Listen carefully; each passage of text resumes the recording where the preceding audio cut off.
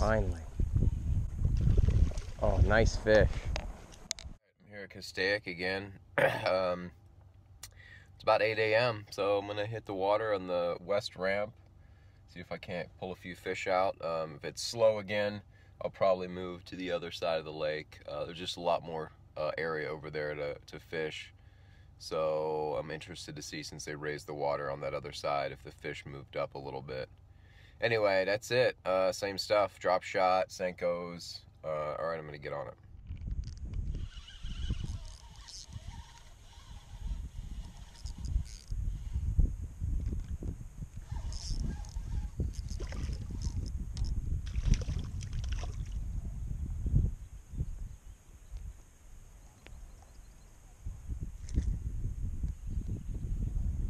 Little baby smallmouth.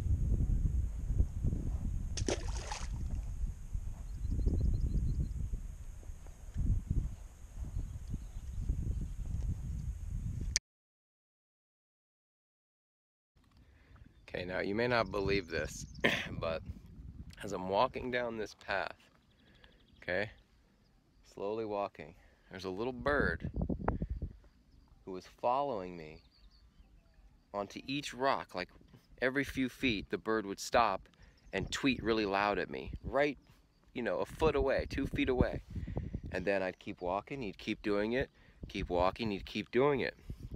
And at first I was like, that's just a coincidence. But then he stopped right at this rock, right where I was stopping. But that he stopped right in front of me and tweeted really loud, like almost where I could grab him. And I was like, okay, what is he trying to tell me? And look what he's trying to tell me. Right where the bird was is my good buddy, the rattlesnake. Looks like he did drown, went to high ground, now he's just hanging out. And that bird was right there warning me. The bird was like right there. Right, where's my finger? Right there, warning me that that snake was there. I'm telling you, that may sound crazy, but it's not unheard of for animals to warn other animals that there's a predator nearby. So that's pretty cool. Just had a hit on the robo worm. He let it go.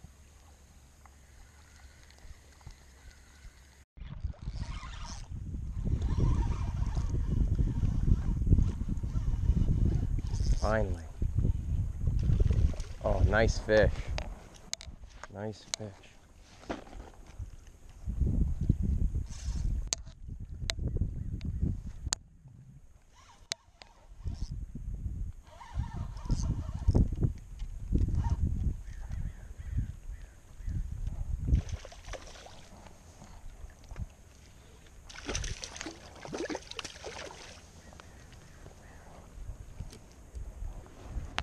Oh, that's a beauty. Nice and chunky too. Picture worthy.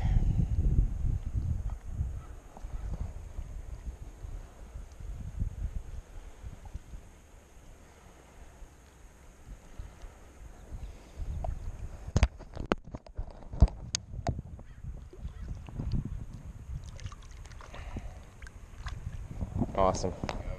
I'm gonna go hit this uh, other side here. I know it's midday, but I've had luck around this time. So, yeah, this is new. We go across this little bridge, all to try to find a good spot.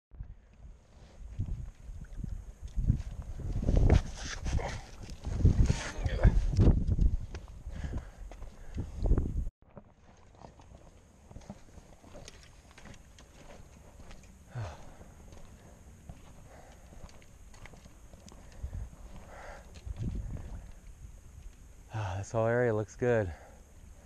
Get a shot.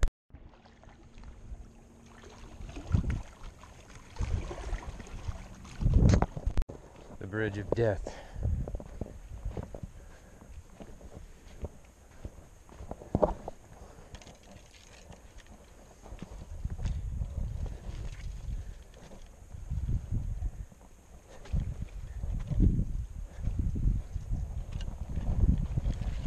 Went all over that that lake on the main ramp and uh, nothing.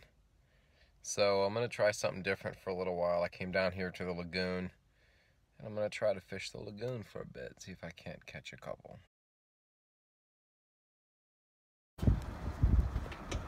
I heard a scratching over here.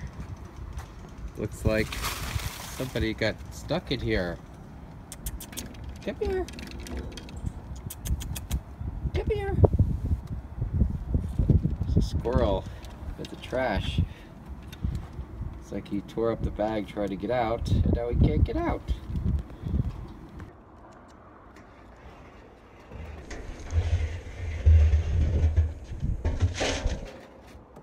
There you go. Happy?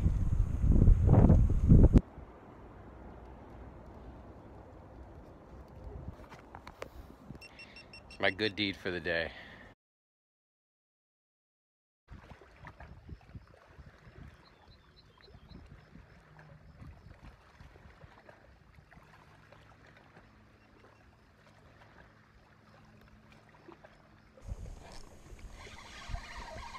Oh.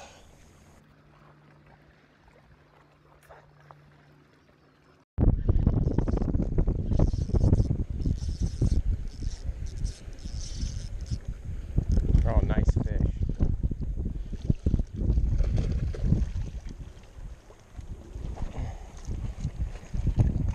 Oh, beauty. Come on, buddy.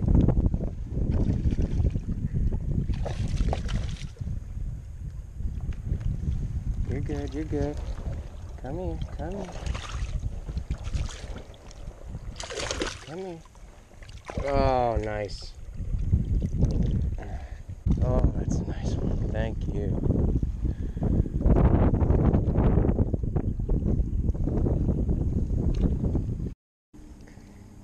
All right, got this nice guy. Chunky. Man, that made my day. Beautiful.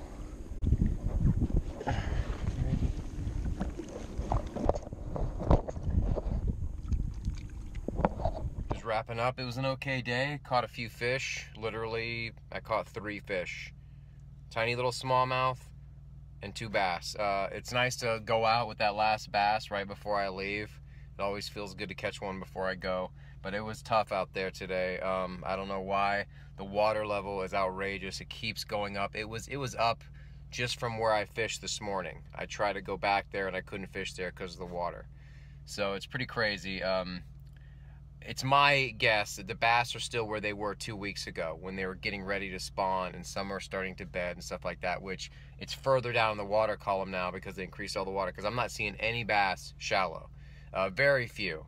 Um, so yeah, I think the water level's really affecting the bite. I think once it sort of stabilizes and this warm weather is, is, is coming around right now, uh, maybe they'll start to get a little bit more predictable and you'll be able to find them off the points in the deep in the deep drop offs 20 25 feet of water. Um, but i don't know. Uh, thanks to all the people that i run into on the lake that watch the videos. I really appreciate it. It's nice meeting you. Until next time. See you tomorrow